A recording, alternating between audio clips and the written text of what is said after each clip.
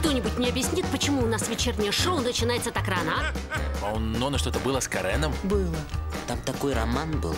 Он из-за нее вены резал. Боже мой, смотрите, взошло! Взошло солнце русского радиоэфира! Может быть, произошло что-нибудь плохое? Это было бы хорошо. То чувство, когда радио лучше смотреть. Я, конечно, мало что знаю о редких животных, но вот соседка моя по лестничной клетке, вот она редкая.